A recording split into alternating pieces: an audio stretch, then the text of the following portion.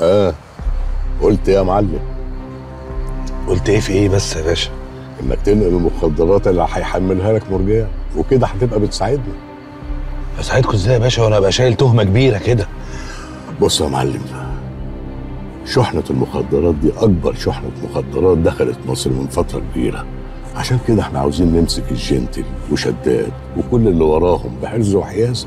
وبعدين الرجالة بتوعي اللي زارعهم عند سهران بلغوني إن البضاعة هتنزل البحر النهاردة. ومرجان ابن الرئيس غريب هو اللي هيستلمها عرفت. من ساعة ما كلمني مرجان وقال لي تعالى السويس بكرة. تمام. وأنا واثق في ذكائك بس المرة دي مش زي المرة اللي فاتت. المرة دي أنت بتنقل مخدرات وأنت عارف إنك بتنقل مخدرات كل اللي مطلوب منك إنك هتروح السوق تنزل المخدرات وتديها لهم. ويا ريت يبقى الجنتل وشداد موجودين هناك.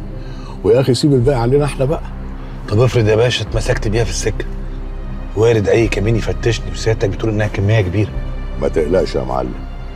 أنا هسهل لك خروج المخدرات من المينا ووصولها كمان للقاهرة. طب ما تمسكوا المخدرات أول ما تطلع من البحر على طول. يا معلم ساعتها مش هيبقى في حرز وحيازة. والواد مرجان هو اللي هيروح فيها وهيلبس القضية والجنتل هيكمل شغله. أنا عامل خطة. هنقضي بيها على شداد والجنتل وكل التجار اللي وراه والخطة دي متنسقة على أعلى مستوى. ها قلت يا معلم؟ على الله إن شاء الله. على الله إن شاء الله. شفت يا زمزم اللي حصل النهارده؟ مش منعم أخويا وقف لعنتر في الحارة واداله كلمتين في جنابه قدام الناس كلها. علشان بس حاول يعترضني إحساس حلو برضو إن الواحدة كده يكون لها ظهر وسند ياخد لها حقها. إيه يا زمزم؟ ما بترديش عليا ليه من ساعة ما مشيتي من السوق؟ وابوك بيقول لي إنك قافلة على روحك والواد حسن بره مفلوق من العياط. في يا بت؟ زمزم. سيبيني لوحدي. أسيبك لوحدك؟ ده من إمتى بقى؟ إن شاء الله حد بيسيب التاني لوحده. طب ما طول عمرنا قاسمين المر قبل الحلو. مالك يا حبيبتي؟ مفيش. وحتى لو فيه طالما ما قلتش أول ما سألت يبقى اللي مدارية عنك ما أقدرش أقوله لك ده وماله؟ داري اللي انت عايزة تداريه. بس أنا عايزة أطمن عليكي. هو إحنا اللي هنقوله هنعيده؟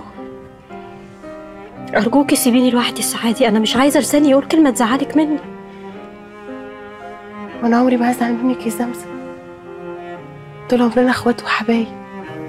طب أنا هقول لك على حاجة حلوة. إيه رأيك تشكيلي همك؟ وبدل ما أنت شايلاه لوحدك نتشارك أنا وأنت سوا فيه. أنا هنزل الصيدليه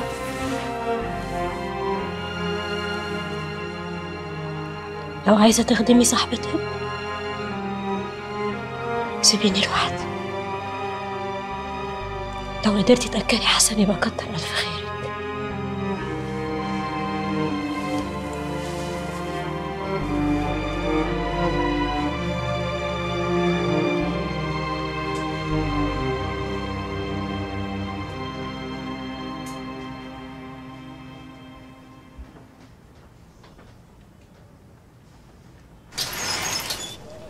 يجعلك سند لأمك ويحميك. يا غلوش يا ابن حسوبة. ويرضى عليك يا ابني ويهديك. سلام. دلوقتي بتدعي لي ياما بعد ما كنت مرمطة عالي في الروحة وفي الجاية وسامه بدني لا وكمان بتدعي عليا. لساني كان بيدعي آه. بس قلبي بيقول يا رب ما تقبلش. يا واد يا واد ده أنت ابن عمري. ده أنا جبتك بعد شوقه غيرش بس سكة اللوع والمخدرات اللي انت اتسحبت رجلك فيها. بس خلاص اشتغلت مع المعلم. راسي بقت مرفوعة في وسط الحارة. إحنا هنفضل نتكلم كده؟ ما إحنا عندنا بيت نتكلم فيه. بيت إيه ياما ما انت ترضري منه. لا إله إلا الله ده انت قافلة بابه في وشي. واخد شقة لوحدي أنا على فكرة. اتفتح يا نن عيني. حسوبة راجلها راجع بيته وبيت أبوه. يملك ماله وقهوة أبوه ويعزز أمه. اللي كبرت في السن. يا يا غلوش. الباقي من العمر يا ابني مش قد اللي راح.